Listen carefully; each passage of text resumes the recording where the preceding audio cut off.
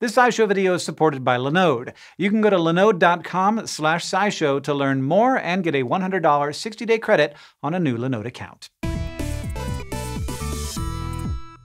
In many fields of science, discoveries can be made in really oddball, unexpected locations and circumstances. We have covered a few of those lucky discoveries in a previous video. But that's probably not as common in the field of paleontology, right? It seems like making discoveries, or at least finding new fossils, would be pretty straightforward. You go into the desert, ideally dressed like Laura Dern in Jurassic Park. You wail on rocks with your chisels and hammers and brushes until you find some ancient plants and animals stuck into the stone. And if you find anything good, you take it it home, you identify it, and you put it in a museum. That's it. Paleontology. But fossil finding can be as full of oopsie-daisy discoveries as any other science. Fossils have been found in a lot of weird places, and in some surprising ways. Here are just a few stories of ancient life turning up in odd places. Alright, is a simple fact of life. Everyone poops. But did you know that not only did ancient animals poop also, but that their poop is in the fossil record? They're called coprolites, and they can tell us a lot about what ancient animals were eating, which makes them useful for finding out more about how the poop maker of the past lived. But they can also contain other fossils.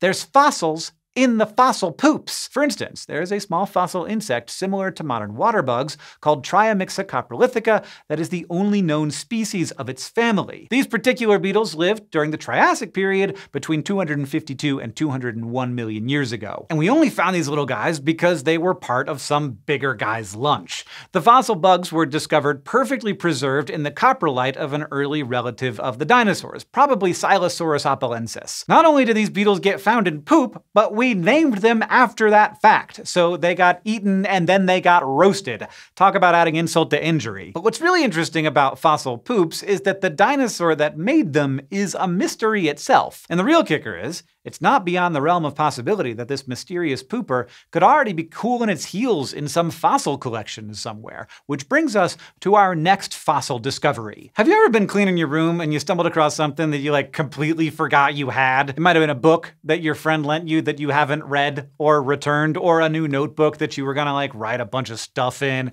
and then you just totally didn't even ever take it out of the shrink wrap. Well, whatever it is, it ends up reminding you about something that you meant to get done but completely forgot about out? Yeah, it turns out that happens to paleontologists too. Sometimes a team will bring something really cool back from the field with every intention of studying it closely, but then something more urgent comes up, and that fossil gets bumped further and further down the to-do list until it gets forgotten. For 90 years. That's roughly what happened with the fossil of Centuriavis lioae. It's a bird that lived 11 million years ago. It was found in Nebraska in 1933 and had been sitting in the Bruce Museum in Greenwich, Connecticut ever since. Although humanity had its hot little hands on it for almost a century, it was discovered, or rather rediscovered, in the museum by a couple of paleontologists who realized this lovely specimen was a species that had never been described. While studying it, they realized the fossil was a brand new species and likely an ancestor of modern-day turkeys and grouses, making it a really useful find. On the plus side, this wasn't as disastrous as like forgetting about some beef stroganoff in the back of the fridge. This little birdie was perfectly safe, tucked away in a block of matrix waiting for a paleontologist to look at it and give it its day in the sun. The same might not go for your friend's patience about that book loan. You might want to just give that back now. Often in fossil hunting, it just takes the right pair of eyes to pick out something that passes unnoticed by hundreds of people every day. For example, a patron in a restaurant in Sichuan, China, looked down at the floor of the courtyard where he was enjoying a nice meal and noticed what looked like dinosaur footprints in the stone that had gone unnoticed. The patron reached out to Dr. Xing Lida, a professor at China University of Geosciences, and told him what he'd seen.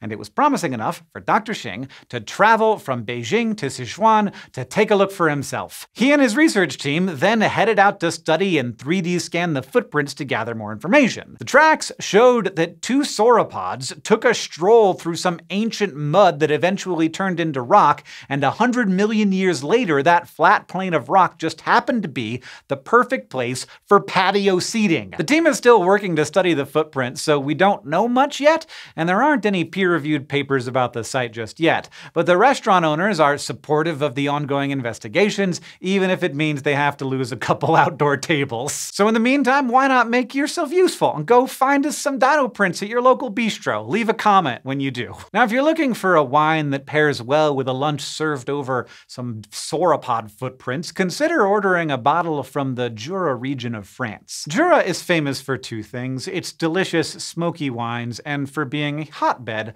of ancient fossils. They are so commonly found here that the Jurassic period is named for the Jura Mountains on the border of France and Switzerland. The region is known for its dinosaur footprints. Over 1,500 footprints have been found at one quarry site alone. There are lots of marine fossils, too. During the Jurassic period, the area was flat and submerged by a warm, shallow tropical sea, which means today the place is absolutely lousy with fossilized marine animals, ancient oysters, ammonites, belemnites, and more. Vintners say the fossils contain iodine and salt that give give their wines an acidity and smoky flavor that cannot be produced without them. In total, growers can produce five varieties of grapes that are used to make several wine varieties that are world-renowned. And many of the winemakers keep their own personal collections of fossils they find while working in their vineyards. All that wine probably makes Jura a great place for researchers to do fieldwork, especially if they give the researchers free samples. Which you gotta do, right? Human paleontologists are pretty good at finding fossils, but sometimes they need a little help. And in at least one case, a helping hand came from like a million tiny insects. Harvester ants build giant reinforced burrows that are kind of like military strongholds.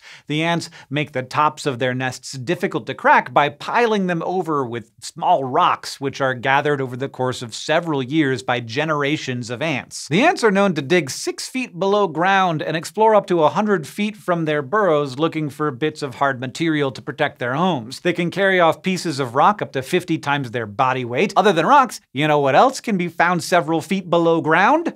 Fossils because they are rocks. They're just very special rocks. Now, because a harvester ant doesn't much care about the kinds of rocks they use, they sometimes grab up those fossils because they are small, hard objects. In 2022, a group of scientists published their analysis of thousands of fossilized teeth belonging to 10 previously unknown species of ancient rodents that lived around 33 to 35 million years ago. While poking around harvester ant burrows might help paleontologists fast-track finding some fossils, the trade-off is usually that they get a ton of ant bites in the process. So yeah, I'm gonna leave that one to the professionals. Now again, we all lose track of stuff from time to time. It should not be taken as a referendum on your character. But it's especially frustrating to lose something before you were even finished with it. And when the thing you lost is an entire fossil dig site, realizing what went missing has to have some extra sting in the tail. In the 1950s, paleontologists located a wonderland of plant fossils at a site on the border of Brazil and Uruguay called Cerro Chato. The ancient conditions there had been absolutely perfect for fossil making, and multiple layers of rock from Cerro Chato were completely covered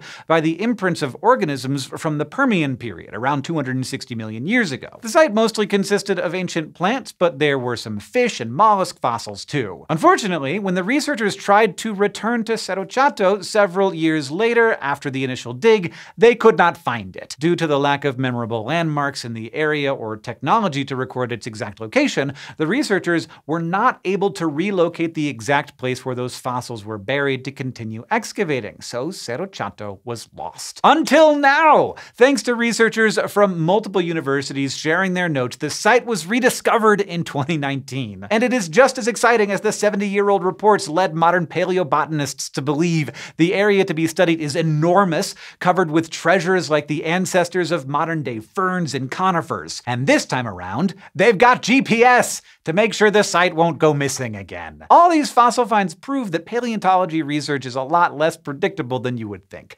Fossil hunting usually takes tools, planning, and well-trained eyeballs. But sometimes, all you need is a little luck. Or maybe But you don't want to rely on luck when it comes to maintaining your students' grades or your business's website, and with Linode, you don't have to. Linode is a cloud computing provider from Akamai that gives you fast access to virtual machines, online storage, and software, along with whatever else you can create using their online tools. And the great thing about Linode is that you're not left to your own devices to figure out how to do all of that. Linode has so many resources to read, watch, or chat your way into a deeper understanding of the cloud and how you can use it for pretty pretty much all the online stuff you do. You can use it pretty much anywhere because Linode has data centers strategically placed all over the world, with at least a dozen more coming by the end of 2023. As a SciShow viewer, they're giving you a $100 60-day credit on a new Linode account when you click the link in the description down below or go to linode.com slash scishow. So thanks for being a SciShow viewer, and thanks to Linode for supporting this SciShow video.